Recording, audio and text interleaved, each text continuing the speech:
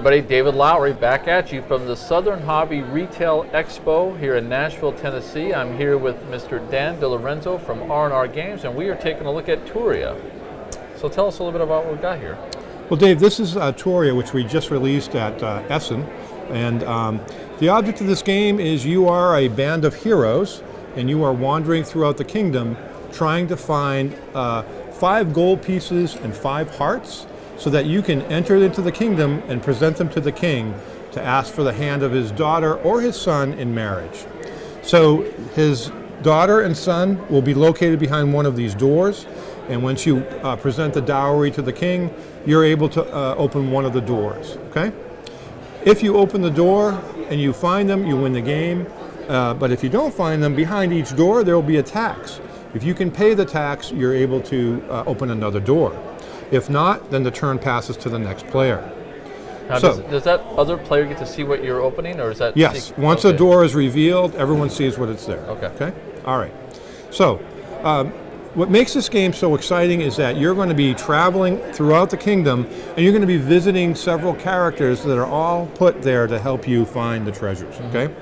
So, I'm going to take a moment and talk about each of the characters. So, the first one is up here, and this is the goldsmith.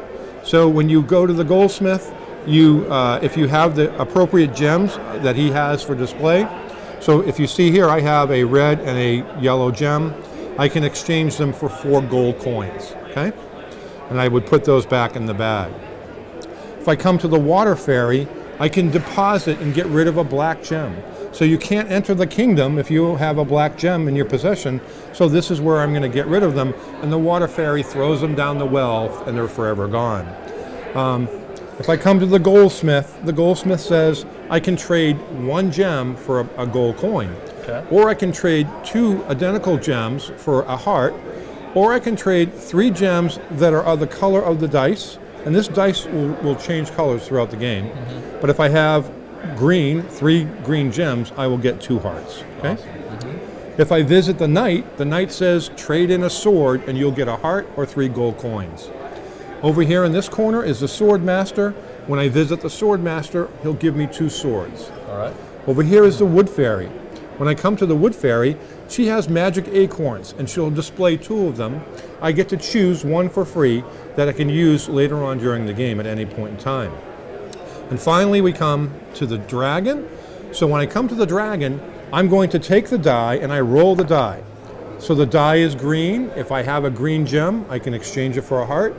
If I don't have a green gem, I can exchange a sword and I get a second dice roll. Now, if I have a yellow uh, gem, I can trade that for a heart. Okay. If I didn't have a yellow gem, my turn would end. Okay? And then finally, we have the thief. The thief, the thief allows you to grab three gems out of the bag, and I'm going to grab these gems here, and I'm able to take one secretly and keep it, and put it behind my screen, and I return the other two. When, when you pull those three, do the other players know what you pulled out? Everyone gets to see what I pulled out, but they don't get to see what I keep. Okay. Okay? So in this example, I kept a purple gem. A purple gem is very special in this game because during subsequent turns, I can use this for an additional turn. All right? So those are the characters that we're going to be visiting, but let's talk about how you move. Remember, I said we are a band of heroes and we're moving, but here's the dynamic that makes this game so unique. You can only visit the characters that are facing the tower in your direction. So as we sit right now, we have the swordsmith facing us, Right. the trader, the wizard, or another swordsmith. Okay? So we have to tell everybody where we're going. So for example, I might say, I'm going to go to the swordsmith, and then I rotate that tower in the direction of the arrows on top, one quarter turn. So what makes this game really interesting is as play continues around the board, the characters that you can visit are going to change. Right. Okay. Now I get I can move any distance throughout the board, but I get the first three are for free. Okay. Any movement beyond three, I must pay a gold coin. So if I move five spaces, I'll, I'll have to pay two gold coins. Okay. Okay? But when I'm traveling along the roads, as I'm traveling over the roads, I get to collect a gem from every mine. So if I were to go in this direction, I would go one, two, three, and I'm there at the swordsmith, and I get to take one of these for free. All right?